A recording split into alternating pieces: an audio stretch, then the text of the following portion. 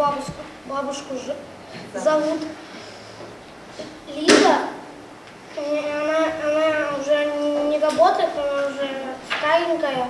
Оценки не ставят, школьную форму носить не заставляют. Это, конечно, не уроки, а продленка. Вплоть до прихода родителей с работы первоклашки 25-й гимназии находятся под чутким присмотром классного руководителя. Она поможет с домашним заданием, покормит и на прогулку сводит. Семилетнюю Веру такой расклад вполне устраивает. Мне нравятся уроки и, и, и играть с друзьями. Мне скучно дома, когда никого нет.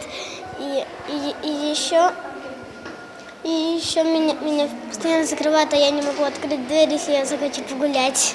Единый класс полного дня в 25-й гимназии набрали впервые. Записали туда своих детей родители заблаговременно. Кроме того, с 1 октября в гимназии заработает группа продленного дня. Уже не только для первоклашек, но и для учеников вторых и третьих классов. На сегодняшний день у нас э, организуется э, школа ступени, то есть начальная школа у нас обучается отдельно в корпусе, что позволяет нам создавать вот такие классы. Э, Создавать условия для того, чтобы дети находились э, полный день с 8 до 5 часов в стенах образовательного учреждения.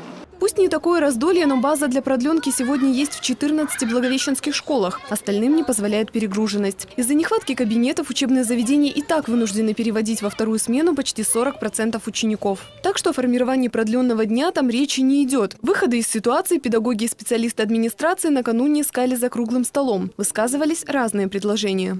На арендуемых площадях, в том числе на безвозмездной основе, э, на учреждениях дополнительного образования детей, которые расположены рядом с общеобразовательными организациями, организовать такие услуги. Найти, впрочем, предстоит не только свободные площади, но и возможность компенсировать часть родительской платы. Сейчас пребывание ребенка в продленке стоит в среднем 1200 рублей в месяц. В эту сумму входит питание и дополнительные занятия. Собравшиеся предложили рассмотреть возможность сократить эту сумму хотя бы для многодетных и малоимущих. Тем более, что подобный опыт уже есть в Белогорском, Ивановском и Михайловском районах. Юлия Мишурнова, Денис Лугов, программа «Город».